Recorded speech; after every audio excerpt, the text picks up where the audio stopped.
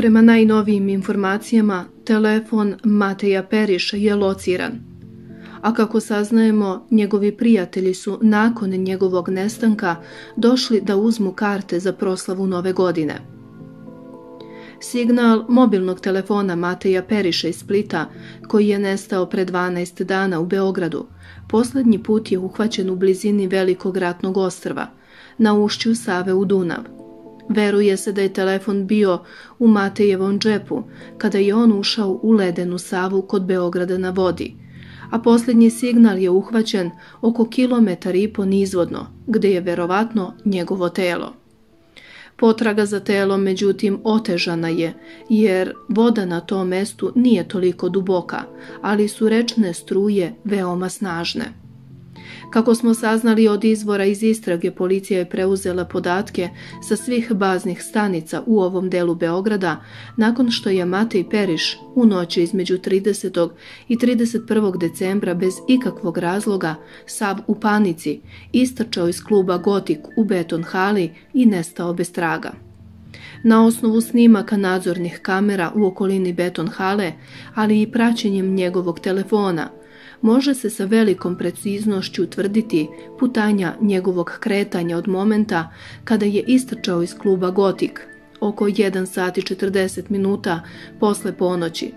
On je zatim preko Karađorđeve ulice otrčao uzvodno do restorana Sava Nova kod Beograda na vodi i tu se na jednom snimku vidi kako silazi do Save, ali se ne vidi i trenutak kada je ušao u vodu, kazao je naš sagovornik i dodao. Bazne stanice su registrovale signal njegovog telefona na tom mestu, a potom je signal lociran nizvodno kod velikog ratnog ostrva, gde se izgubio. Pretpostavlja se da je Matej sve vreme imao telefon u džepu, dok ga je Sava nosila i da je negde kod ostrva, na ušću Save u Dunav, u vodi ostalo njegovo telo. Prema rečima našeg sagovornika, rečna policija i ronioci pretraživali su Savu od Beograda na vodi do Ušća, ali bez rezultata. Pretraživana je i reka kod velikog ratnog ostrva, ali problem je u tome što su rečne struje tamo veoma snažne, a to je veliki problem za ronioce – Takođe potraga otežava i to što je nestali mladić na sebi imao tamnu garderobu, koju je teško uočiti u vodi, gde je vidljivost praktično nikakva.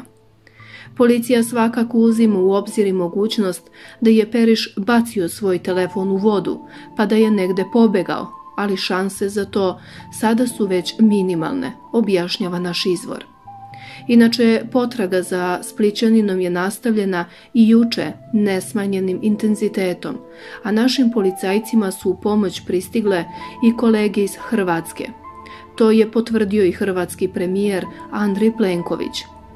Želimo da zahvalimo policiji u Beogradu na naporima, ali i da damo doprinos u potrazi za Matijom Perišem.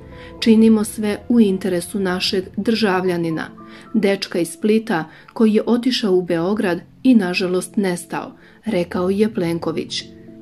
A šta se sve može saznati od operatera i sa baznih stanica objasnio je Đuro Lubura, telekomunikacijski stručnjak i stalni sudijski veštak za telekomunikacije, tehniku i metodologiju prisluškivanja.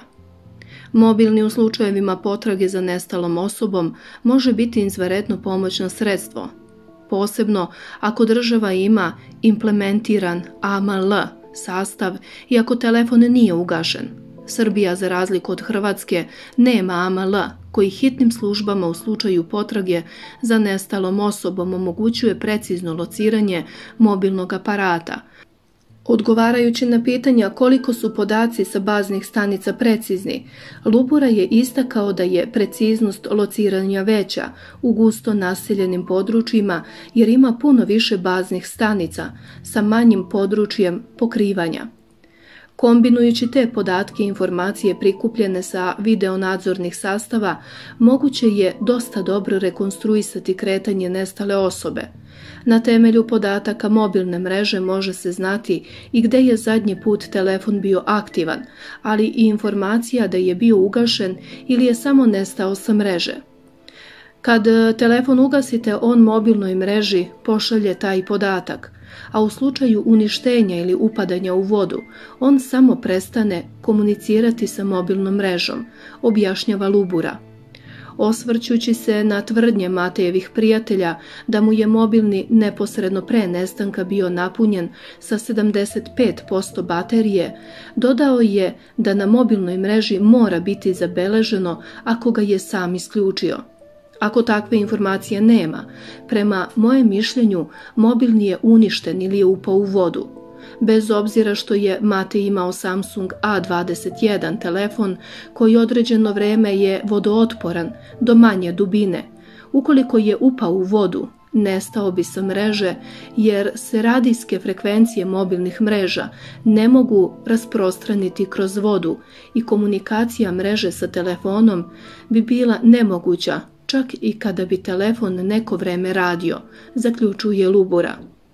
A kako saznajemo Matejevi prijatelji, nakon njegovog nestanka došli su da uzmu karte za proslavu nove godine. Drugovi nestalog Splićanina oko 15 časova 31. decembra otišli su do jedne beogradske agencije za rezervaciju mesta za izlaske kako bi preuzeli karte za jedan beogradski splav koji su prethodno rezervisali da bi tamo proveli novogodišnju noć ekskluzivno saznaje Srbija danas. Pretpostavlja se da oni nestanak svog druga iz Splita nisu uzimali za ozbiljno, pa su planirali da ipak slave novu godinu u nadi da će se Matej odnekud pojaviti. Došao je jedan Matejev prijatelj oko 15 sati 31. decembra. Oni su prethodno rezervisali splav Kopernikus kako bi tamo proveli novogodišnju noć – taj splav se nalazi tačno preko puta kluba Gotik, otkriva naš izvor. Kako navodi, Matejev prijatelj delovao je zabrinuto. On je čoveku od koga je trebalo da preuzme karte rekao da je Matej nestao. Naveo je da ga traže od dva ujutru od prethodne noći. Rekao je da su ga tražili po svim bolnicama, ali da od njega nije bilo ni traga ni glasa. Ono što je najviše čudno u celoj situaciji je to što su oni očigledno hteli da proslave novogodišnju noć na splavu, iako je njihov prijatelj sa kojim su došli nestao, kaže izvor. MUP je ranije saopštio da je nestanak mladića prijavio njegov prijatelj 31. decembra tek u 18 časova. Prema mišljenju stručnjaka, prijatelji Mateja Periša verovatno su odugovlačili sa prijavom njegovog nestanka, jer su te večeri bili pod dejstvom nedozvoljenih substanci, rekao je jednom prilikom predsednik sindikata policije i policijskih starešina Blažo Marković. Naravno da je čudno što su čekali toliko sati da prijave slučaj. Možda su čekali da se očiste tela od alkohola i nekih drugih substanci. Videli smo na snimcima da je posle trčao. Policiji je imperativ da nađe mladića, rekao je predsednik sindikata policije i policijskih starešina Blažo Marković. Podsjetimo pregledom snimaka desetina kilometara sa objekta u blizini Beton Hale i reke Save, policija je uspela da rekonstruiše kuda se Matej Periš kretao nakon što je u noći između 30. i 31. decembra izjurio iz kluba Gotik. Na snimcima se vidi kako je oko 1 sat i 40 minuta Periš trčao pored beton hale ka Karadžorđevoj ulici, a na ovom, kao i na drugim snimcima, jasno se vidi da Mateja niko nije jurio. Zatim je više kamera duž Karadžorđeve ulice snimilo Splićanina koji je na sebi imao crnu majicu i bele patike. On je na semaforu kod Brankovog mosta pokušao da zaustavi i uđe u taksi. Zatim je Periš u 1.47 snimljen kod zgrade Geozavoda, nakon čega je odmah utrčao u Travničku ulicu, gde je kamera takođe zabeležila njegovo kretanje.